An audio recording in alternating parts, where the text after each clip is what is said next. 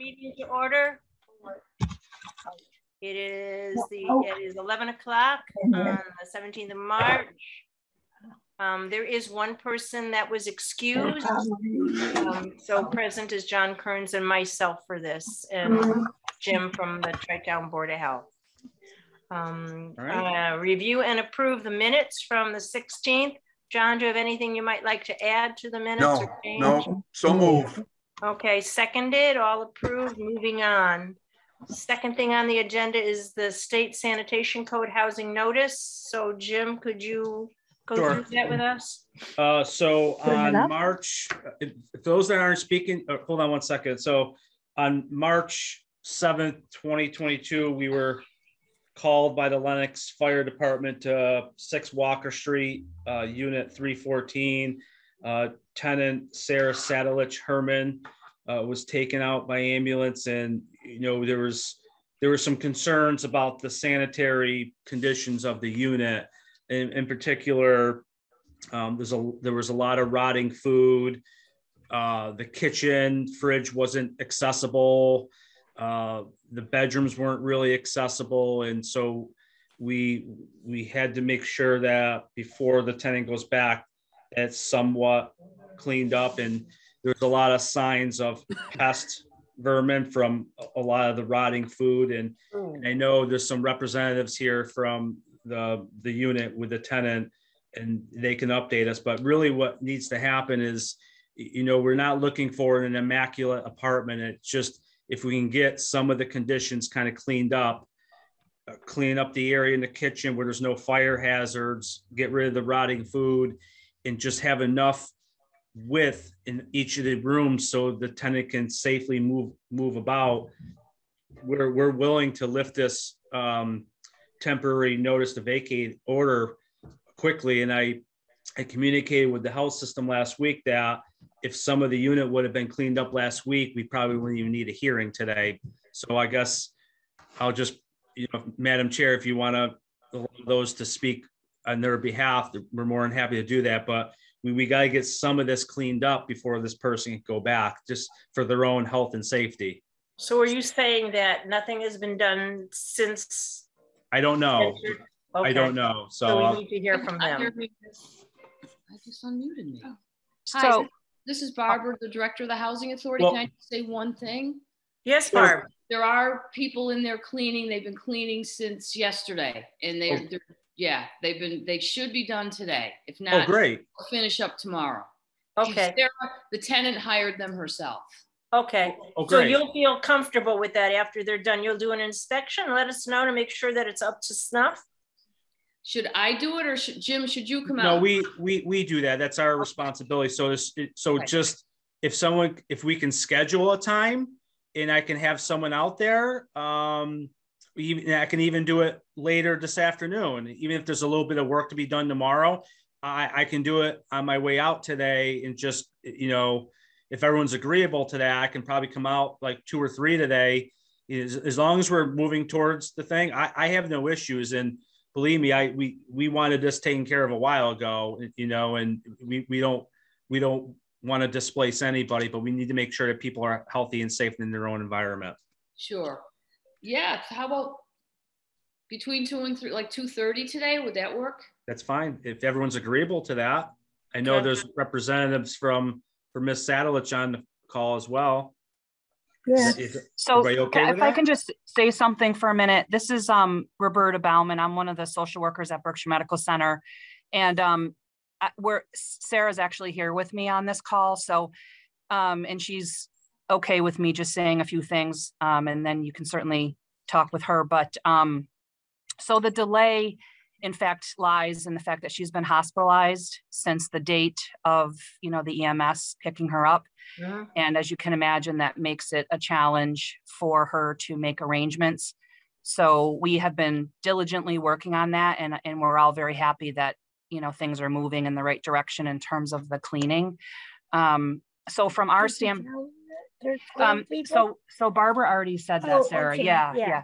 So, um, from our standpoint, from the health system standpoint, we would just like to have some communication when the unit has been, um, satisfactory, like inspected and um, that she would be clear from a vacancy standpoint to return, and then we can handle what that's going to mean exactly. But um, yeah, Sarah herself has made these arrangements And privately. We'll, t- we'll take care of that. As soon as I, when I get done today, I can probably get something to you early evening tonight. Thanks, Jim. You have my email, I correct? do. think I you. do, Thank yep. you.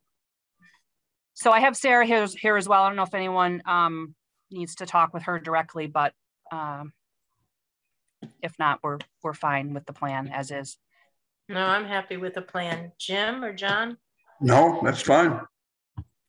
No, we- we'll work, we'll, we'll all work together to get Miss Sadowich back in. Okay. Thank you very much. You're welcome. Well, you're welcome. Get healthy. Yes, I will. Stay Stay healthy. Thank you. Sounds good. Thank you, everyone. All right, you. Nice meeting you, Sarah. Nice meeting you. Thank you very much. Take care, Bert. Okay. Bye, Diane. Bye. We're, we're gonna leave. You just let my nickname out of the bag. Oh, geez, I'm sorry. Gosh, it's all right. It's all right. Okay, we're gonna, we're gonna um leave the meeting now. So thanks, everybody. Thank Okay, you. have a good Thank you. day. Bye. Bye-bye. Okay, um, Okay. next item on the agenda, Is- Okay. Southern Berkshire Public Health Collaborative update. Yep. Um, so as the board knows that, you know, we have this new shared service, Southern Berkshire Public Health Collaborative, 10 town uh, group uh, funded by the DPH to have a comprehensive public health nursing program. That's going remarkably well.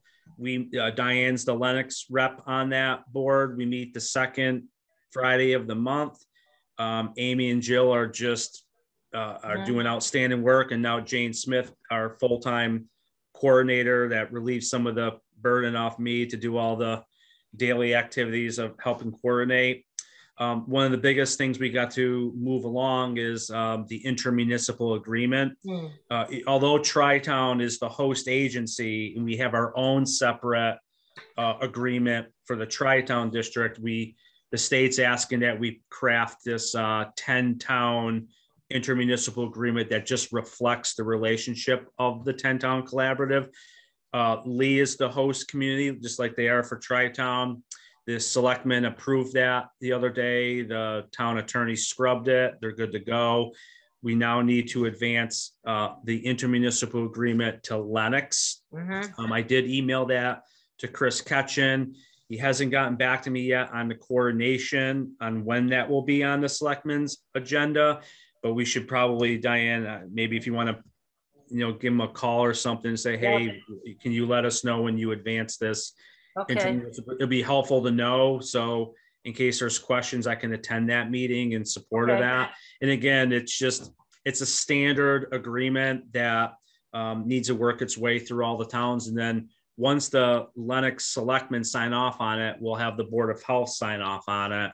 Um, Yep. and then, and, and keep moving along to the, all the other towns. And so that's that. Um, another important um, piece of news is that we are finally approved as our own vaccine site provider, which was very uh, lengthy process. You know, trying to, and then we we had to sort out all the all that stuff with the state, and then we had to get our own NPI number through Tri-Town Health, was something we've never done before.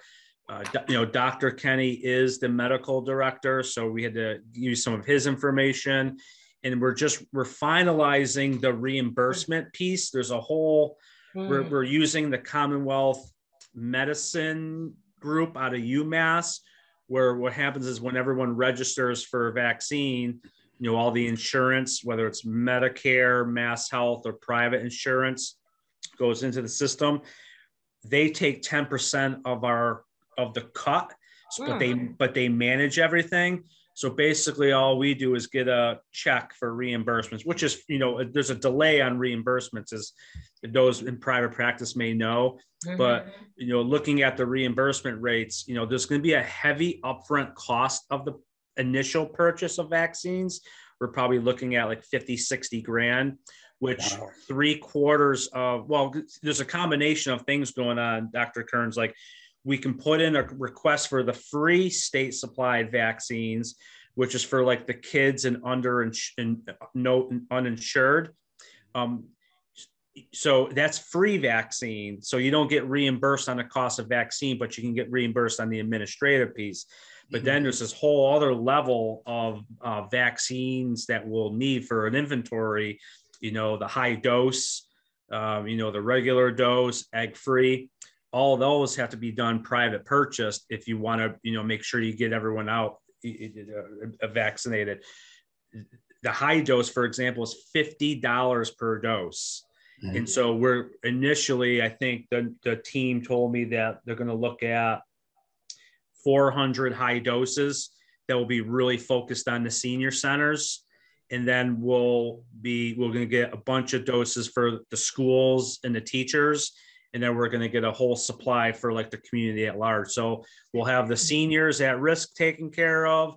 We'll have the schools and the faculty taken care of. Then what we'll have to worry about is kind of like EMS, fire, municipal, and anyone else that wants to get accessibility to the flu vaccine. Mm. We're probably looking at a good chunk of money up front, but we'll get a good chunk of that back on the private Mhm. purchase vaccine plus the administration. You don't Mhm. really make money, but we'll have enough money in the coffers come next the following season. We won't have to put up all these upfront costs. That we'll have the money to pay for the vaccines. It'll be a really sustainable program. And now we'll have full control where we have our clinics you know, in our towns that meet the needs of the community rather than relying on other agencies to do this. Plus, we're also qualified to do COVID shots if we want to do that. Yeah, that's So- what I was gonna ask, if it was just for the flu or not. No, no, it's it's it's carte blanche. It's you know, um, we so we are approved for COVID boosters, the, the whole nine. Uh, it, it's taken a little bit of time, and that's a huge. That was a heavy lift, but again, but that's one piece of many things that we're doing in public health. The the nurses are really focusing in on equity. They're delivering N95 masks to senior centers and all these other places that can't afford N95 masks. And we're, we're as we wind down COVID, hopefully, we're going to enter this new realm that we've never done before with comprehensive public health nursing. Mhm. And, and when I mean comprehensive public health nursing, it's not just a basic Maven and one flu clinic a year. We're going to be tackling a variety of things, homebound stuff, mental health, really focusing in on true public health needs of our community. So it's an exciting time. And, you know, we've been lucky to put the right staff in place. And we're, and we're, there's a lot of really good things going on. Is Well, that I through, just- everybody's efforts. is that through just Tri-Town or through the intermunicipality uh, thing, the ten town? It's so, so the Southern Berkshire Collaborative is the 10 town consortium. Yeah. Tri-Town is the lead agency. Yeah, So like, so, but, so we pay the bills and we're responsible.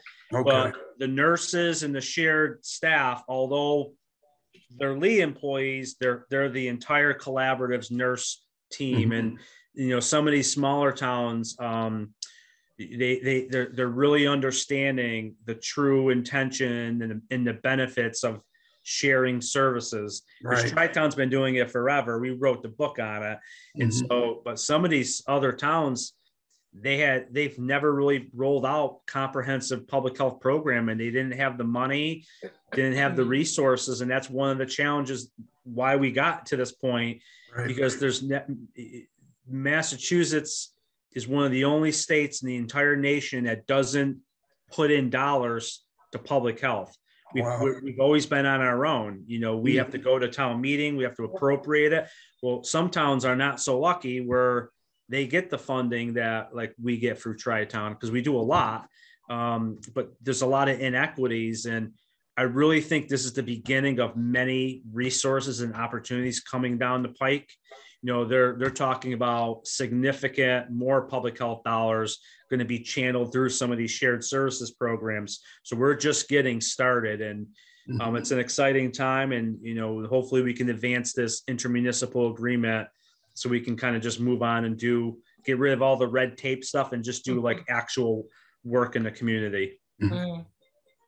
Mm. Um, as this moves along, I'm hoping that we can get a lot of um, air in the room sometimes with Clarence or whatever, just to make people aware uh, of all the hard work and where this is going to go. Um, hopefully, because I've been just very impressed with the nurses and the board members and the willingness to do the amount of work that needs to happen behind the scenes that we're not even realizing to get this going. Um, so kudos to them. Please thank them. Well, well. okay. Anything else on that subject? I no, I, I just wanted to see where we were sitting on the IMA because I yep. knew he was done and I'll I will um Tom's gonna bring down something to Chris either later today or tomorrow. So I'll call Chris ahead of time and talk to him about a couple of things. That okay. Okay, um, awesome. So Tri-Town Health Department updates, anything new in that area? So uh, you you asked to put the tobacco slash CBD on yeah, the agenda because um, a new place has opened up. Yeah, and, and I and we did communicate. We did communicate with. So uh, it's a C. You talking about the CBD store? Yep. Yeah, so CBD is actually allowed under certain conditions under the law.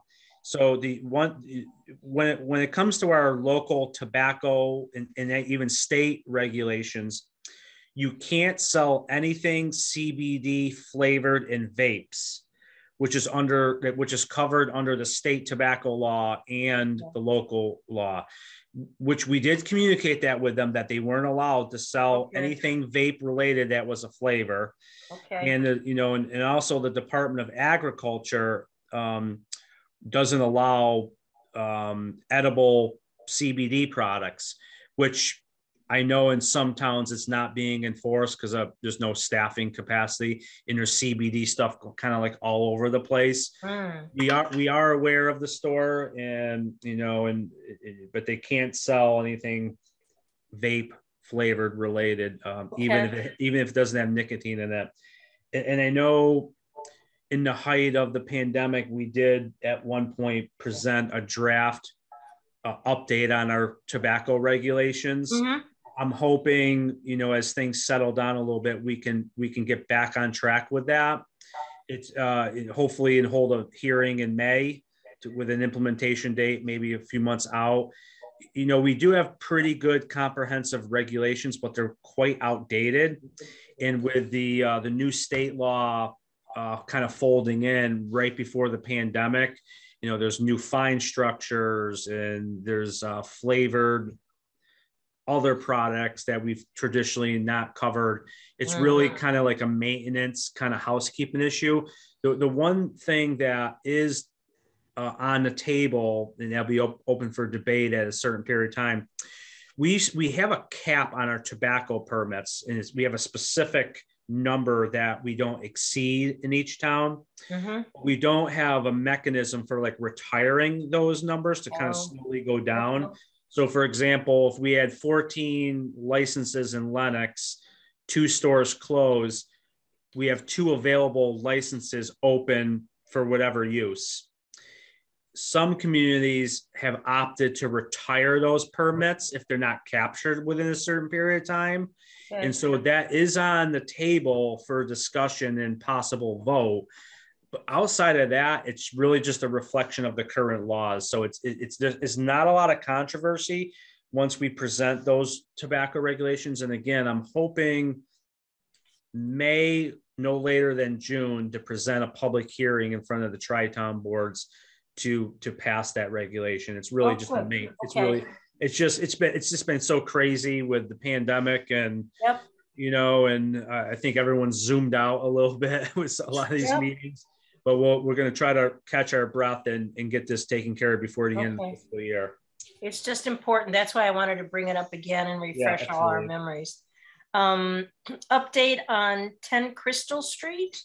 So there's, there's two there's two enforcement things going on yep. here. So let me update you on 10 Crystal Street. So this is a multi-unit in the Dale. Um, it came to our attention probably November, December 2021 three units. in the middle of a foreclosure by the bank. Uh, Oh. it, it initially started as a no heat issue. Yep. Um, we sort of got that taken care of temporarily. And then when we finally got access to two of the three units, they were in pretty rough shape. And it was a very complex housing situation. So we immediately engaged KP Law, which is our Lenox Town Council, Jeff Blake in particular. Um, I've worked with Jeff before in some of the other Lenox issues. That this was a very um, complicated case when there was a foreclosure. HSBC was the bank. We had active tenants with children, and it was just it was a very complex case. So we, I immediately engaged with KP Law to help us sort that out. You know, we've been to housing court a couple times, and so uh, we had so fast forward, um, the bank has stepped up. Um, two of the units are now vacated, and there's one tenant left over that's still living there. We're not sure if the bank is going to strike a deal to have the tenant move on. If it's if it's vac it's a, if it's fully vacated, we, we don't really need to do anything. So it'll be incumbent upon the bank or if they sell it, for example, and they turn it into three units again, all our documents and inspections are on record. What's wrong with the unit? Okay. Um, if the tenant does stay, we we have a follow up in housing court in the next couple weeks, but a, a lot of work needs to be done on this building, and so. Um, uh, a lot of the code issues, you know, there there was raw sewage in the second floor unit from the third floor. Um, there's one uh, there's one uh, furnace with one gas meter serving three units Ooh, that's that's a big issue. Um, most of the windows are rotted out. Um, no trash service. So r- right now, if you drive by it, there's a lot of stuff on the outside, but we're already working with the bank to make sure that that's cleaned up. And it, it's taken a lot of resources to kind of get where that is, but um, that's the update there. So as an aside, it may not be appropriate, I, I'm not sure. Uh, you and I talked to Katie Vaughn at several points. Is this something for them to think about um, looking into for the bank, through the bank?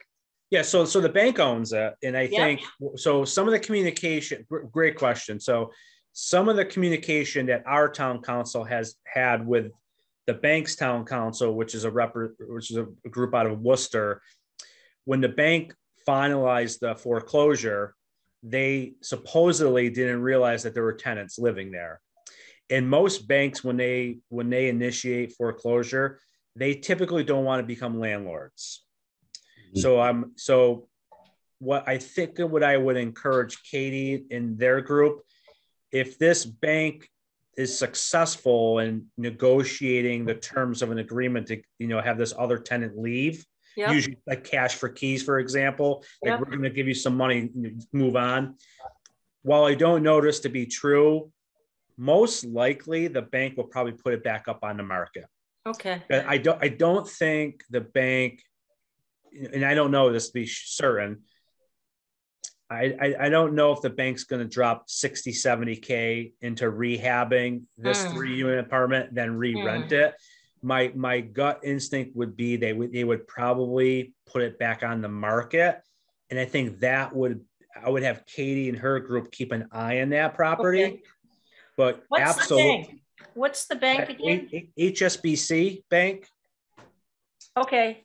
Uh, Okay. and, and so that would that would be i think a great opportunity it's three units Okay. um right now it's two doors down from the market in the in right in the heart of the dale Yep. so i would i would keep an eye on that property Okay. um but the, but the bank does own it and it's not a it's, it's, it's it, this is not this is not a receivership case because it's just about Yeah. empty and but I, I would I would probably think that the bank is most likely going to put this back on the market.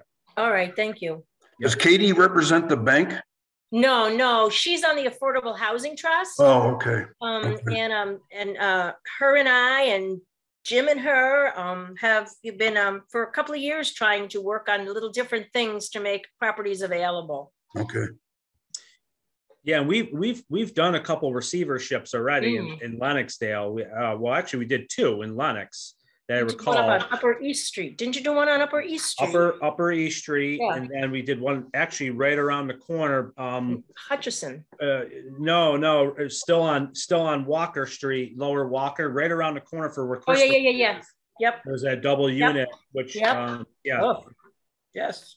So, and I, Mhm. I don't know where the AG's office is right now on the receivership program. I think, you know, I think as we as we come out of the pandemic and COVID, I think we're going to start to see some of these programs kind of get back up and running. Mm, Um, but one of the one of the challenges in, with the receivership program is the the the the housing court and the AG's office hasn't really identified a lot of local groups that are qualified to be a receiver. Yep.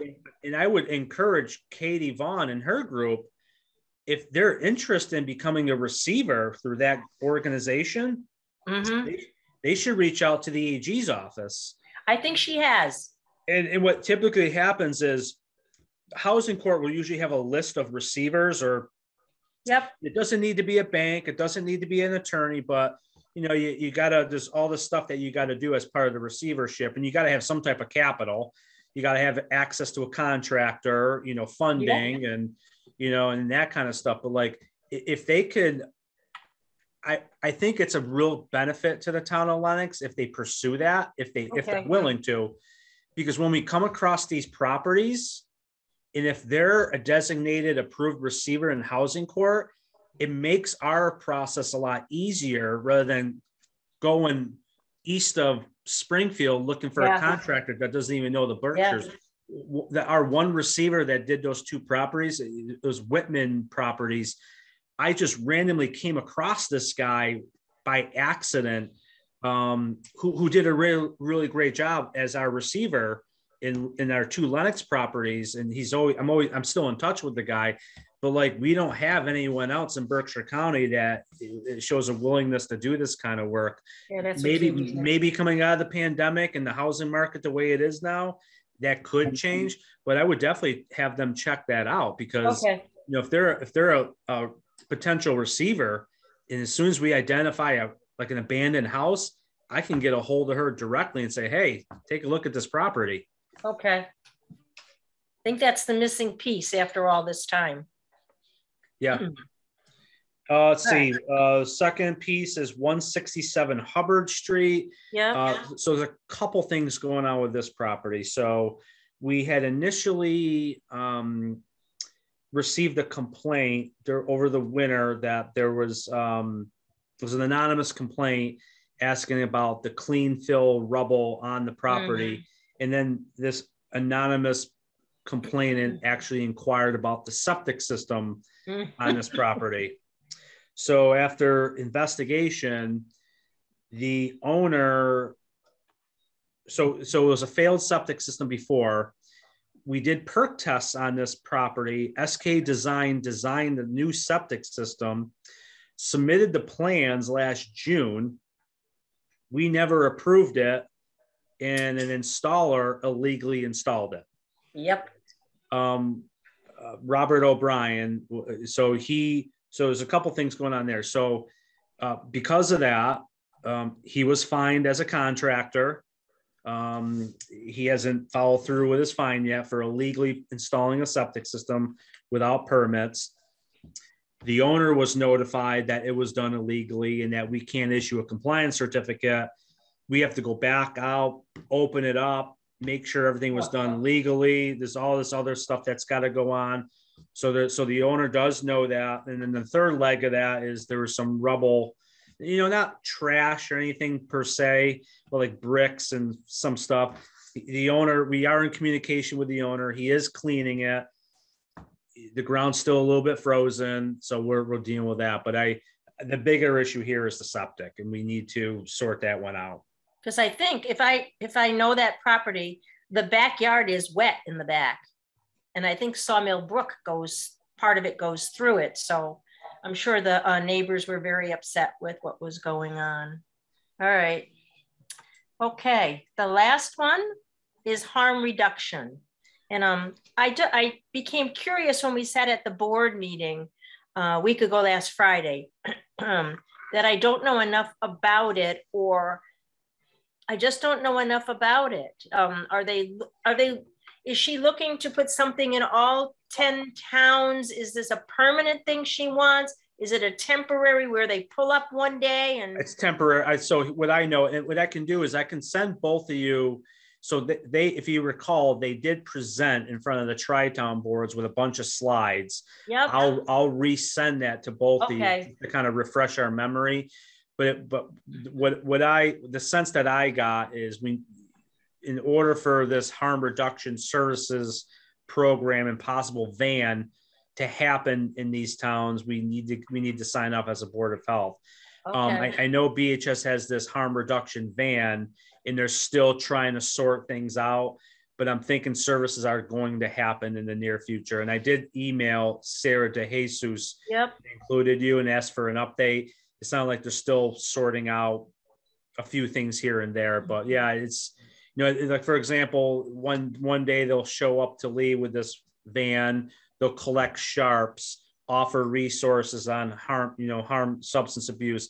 So really starting to remotely try to provide services versus the brick and mortar that people can't get access to. so will, will that collection of sharps be for everybody? So say type one diabetics? Um, because that seems to be a, that's a larger issue. When we were doing the medication roundups, um, and I know that the uh, tobacco um, guys would come and pick up all of our medicines.